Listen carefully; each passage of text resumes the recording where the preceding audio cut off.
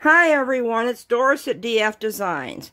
I'm going to show you real quick in this video how I use one of these little signs. See, it's printed on one side and it's white on the back and it's a non-porous thing so you'll be able to spray it. Let me grab my spray can. This is what I use to spray it with. I get this at Walmart. Uh, one thing you got to make sure it says flat black, okay? Now, you also want to make sure you've got a respirator. So, I will be right back to spray this. You might hear a vacuum cleaner, which is kind of like my exhaust. It, it's the little vacuum cleaner thing right here.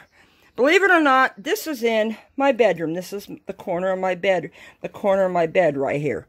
Okay, so let me get my respirator on and show you real quick how I spray it. I have my respirator on, so it might be hard to hear me, but I wanted you to see, I just use a bunch of these to hold it up flat, okay? Then you shake your can, okay?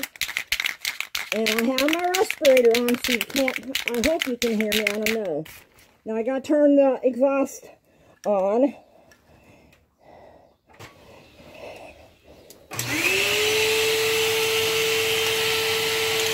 Basically, all you do is you just spray it, okay?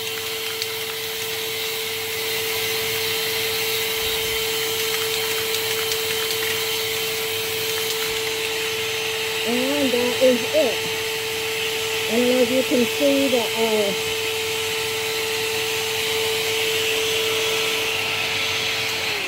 I wanted to turn that off. I don't know if you can see the little particles flying around. Okay, but I also have over here another exhaust fan that I turn on. So, this is what, once it's dry, I'll be, well, hang on, I can take this off now. Once it's dry, I can use this for alcohol inks.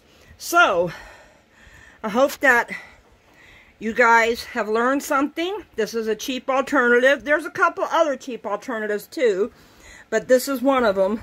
So, if you like this little short video, give it a thumbs up. If you haven't subscribed yet, please do.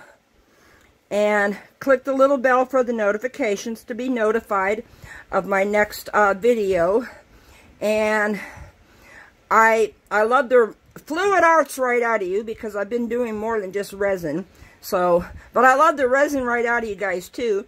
So all I can say now is bye for now.